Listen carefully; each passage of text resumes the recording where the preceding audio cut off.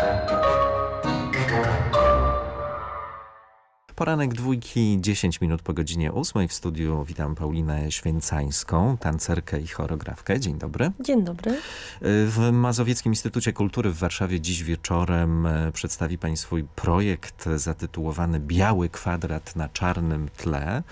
W przewrotny sposób nawiązuje on oczywiście do słynnego obrazu Kazimierza Malewicza Czarny kwadrat na e, białym tle. Skąd w ogóle pomysł, by e, no, abstrakcję, pierwsze dzieło nieprzedstawiające, jak się określa ten, ten obraz Malewicza, y, uczynić tematem choreografii? My będziemy improwizować. Będziemy używać dwóch technik, e, improwizacja i kontakt improwizacja, więc e, będzie to bardzo abstrakcyjne, ponieważ nie będziemy mieli dramaturgii, tak jak zazwyczaj w swoich choreografiach. Reprezentuję teatr tańca, więc mam jakąś myśl przewodnią, linię i jest tam dramaturgia. A przy tym projekcie w ramach cyklu e, portretów choreograficznych stworzonych przez Magdalenę Habros w Mazowieckim Instytucie Kultury, postanowiłam, że zrobię coś zupełnie innego e, i do współpracy zaprosiłam osoby, z którymi wcześniej miałam kontakt w różnych projektach, czy to artystycznych, czy społecznych, czy edukacyjnych. Natomiast oni nie znali się wcześniej, więc jakby tylko ja byłam takim linkiem łączących te wszystkie osoby. Mm, I stwierdziłam, że chciałabym właśnie zrobić taki, taki twór e, improwizowany, bardzo abstrakcyjny, E, no, druga rzecz, e, jakby tancerze współcześnie właśnie w, w swoich pracach, w swoich choreografiach występują na białej podłodze baletowej. Zazwyczaj maj, mają biały horyzont, więc jakby mamy jakiś taki cube biały, więc stwierdziłam, że to też jest pewnego rodzaju link. Będą również mm, obiekty, ale może nie zdradzę jakie, mniejsze, większe, które w jakiś sposób też dla mnie w ten abstrakcyjny sposób nawiązują do tego, co gdzieś będziemy robić. Y, ten czarny kwadrat na białym tle Malewicza, y, on został pokazany po raz pierwszy w 1915 roku w Petersburgu. Y, pomysł w ogóle tego obrazu miał się narodzić w 1913 roku, kiedy pracował nad scenografią, nad kostiumami do futurystycznej opery. Pani kiwa głową, więc doskonale pani wie i zna tą, tą całą historię. Właśnie jaki wpływ e, tego typu rzeczy mają na państwa jako autorów choreografii, jako tancerzy? No bo to, jak powiedzieliśmy na początku, jest hmm. jednak improwizacja. Tak, no to są pewnego rodzaju... Um inspiracje. Dodajmy też, że Malewicz również namalował biały Właśnie. kwadrat na czarnym tle, jak również biały kwadrat na białym tle i czarny kwadrat na czarnym tle. Więc jakby były tam wariacje na temat tego pierwszego dzieła, czarnego kwadratu na białym tle. Mm, artyści y, tańca, jeżeli tu mówię jakby mm, za tą branżę i za tą dziedzinę, bardzo często korzystają z różnego rodzaju inspiracji e, ze sztuki e, współczesnej. I czy to są inspiracje muzyczne, czy wizualne, jak w tym przypadku. E, no, ponieważ nasza narracja no, jest w jakimś sensie trudna dla widza, dla mhm. odbioru, ponieważ rzadko używamy słów, co też się zdarza w tańcu współczesnym. E, nie mamy takiej jasnej dramaturgii jak w teatrze, więc e, widz, e, dajemy pewnego rodzaju klucze interpretacyjne i widz sam odnajduje się w tym, więc każda inspiracja pomaga widzowi znaleźć się w tym przedsięwzięciu, w tym projekcie, żeby czuł się w jakiś sposób bezpiecznie i mógł znajdować jakieś momenty i fragmenty dla siebie, żeby był w stanie może je zrozumieć. Chociaż ostatnio miałam rozmowę z pokoleniem, z takim przyjacielem, trochę starsze pokolenie i on mówi, co to za pomysł, żeby sztukę współczesną e, rozumieć. To my mamy widzowie poszukiwać, zastanawiać mhm. się, e, zadawać sobie pytania, e, to co gdzieś tam widzimy. Jeżeli będziemy rozumieć sztukę, to będzie to sztuka komercyjna, prosta w odbiorze i nie dająca żadnej możliwości na kreację własną dla widza. Więc też takie komentarze osoby 60 plus wyrażają. Mhm. To, to kwadrat Malewicza Malewicza to jest punkt wyjścia, no ale oczywiście muzyka, bo to w choreografii, w spektaklu tanecznym jest również taka linia, która państwa w, w przypadku tańca i improwizacji prowadzi. Z czym tu będziemy mogli się zetknąć dzisiaj? Za muzykę e, przede wszystkim e, w naszym projekcie będzie odpowiedzialny e, Jakub Dykiert z Domowych Melodii i oczywiście będzie miał mm, spektrum instrumentów, których będzie używał. On sam nie wie, co w danym momencie gdzieś go zainspiruje i czego będzie chciał użyć.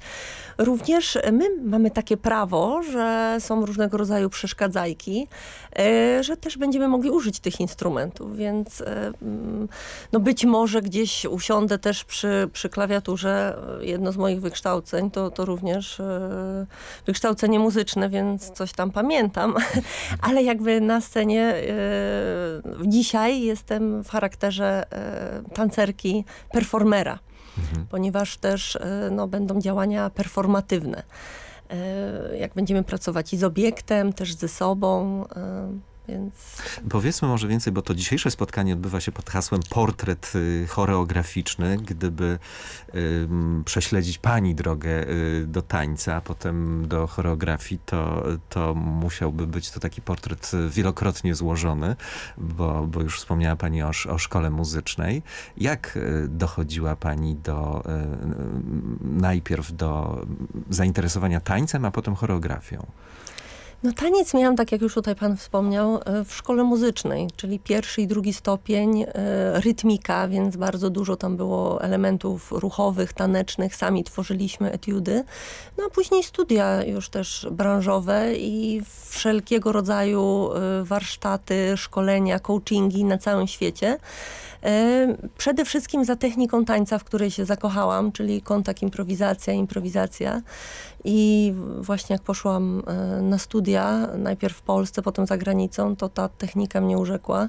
To wyjaśniliśmy może słuchaczom, czym się różni improwizacja od, od kontakt improwizacji. Tak. E, improwizacja jakby czerpiemy e, z różnych technik, które posiadamy.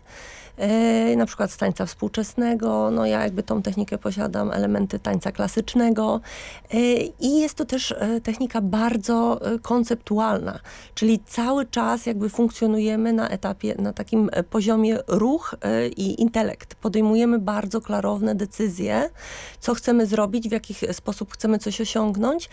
Natomiast kontakt, improwizacja jest to praca w parze, trio, kwartecie i tutaj jakby ten element E, funkcjonowania na poziomie psychicznym wyłączamy i jakby jest bardzo mocna świadomość ciała, oddawanie ciężaru i e, to jest taka neurobiologia, dużo właśnie jakby duży dział neurobiologii zajmuje się też tą techniką, ponieważ bada połączenia automatycznego zachowania ciała, w jaki sposób ciało reaguje, w jaki sposób samo kreuje ruch, a tutaj z partnerem nie jesteśmy w stanie przewidzieć, co się za chwilę e, wydarzy, więc to jest też pamięć ciała. E, no, są to dużo elementów akrobatycznych już na tym poziomie, który my gdzieś prezentujemy. Jednakże fenomenem tej techniki jest to, że można zacząć w każdym wieku. I również tancerze z wysokim, z, wysokim, z dużym doświadczeniem mhm. mogą tańczyć y, z amatorami. I jedna i druga strona czerpie y, od siebie. Więc jakby no, mm, improwizacja również, tylko że no w kontakt mhm. improwizacji jakby spotykają się przede wszystkim dwa ciała minimum i jest przepływ energii, przepływ ciężaru w przestrzeni. Ale wiem też, że to zainteresowanie tańcem, różnymi technikami, różnymi metodami e, tańca e, czerpie pani e, również z podróży.